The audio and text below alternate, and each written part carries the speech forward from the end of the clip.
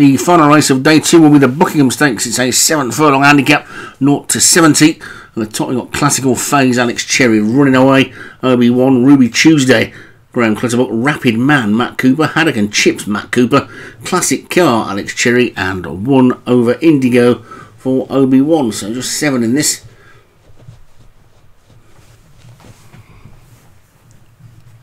And all installed, ready to go.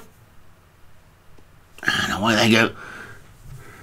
And one over Indigo was quickly out, so too was Stablemate running away, and Ruby Tuesday also got away well as well. So those three have pulled clear of the other four the two Alex Cherry horses, the two Matt Cooper horses. There's two for Alex Cherry, two for Matt Cooper, two for Obi Wan, and one for Graham Clutterbuck in this one. So one over Indigo is in the lead by two lengths from Running Away and Ruby Tuesday together. And there's a gap of five back to Rapid Man and Haddock and Chips, and then Classical Phase and Classic Car is the back marker, but one over Indigo is in front with four furlongs to go, leading by four lengths to Running Away and Ruby Tuesday on Matching Strides here in second.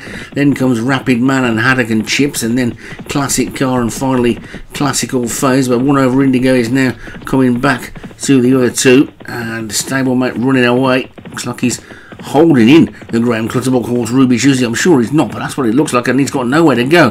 The Graham Clutterbuck horse at the moment, Ruby Tuesday. He's going to need to decide to either wait for a split or pull around the outside. One over Indigo's got a second wind and has kicked on again. Running away is also now coming through the challenge. Now Ruby Tuesday thought he had a gap, but he's been snatched up again. Here comes Classic Car, who's absolutely flying, but he's running away in the lead. Running away then from Classic Car. Rapid Man's also finishing well. So's Haddock and Chips, but he's running away in the lead from Rapid Man and Classic Car. Running away takes it. Classic Car, Rapid Man, Haddock and Chips. Probably be a stewards inquiry, I would think. I'd be surprised if there isn't the way that the Graham Clutterbuck horse was snatched up.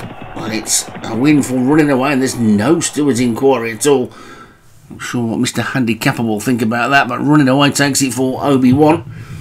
Classic Car was second for Alex Cherry. Matt Cooper was third and fourth with Rapid Man and Haddock and Chips, and Classical Phase was fifth for Alex Cherry.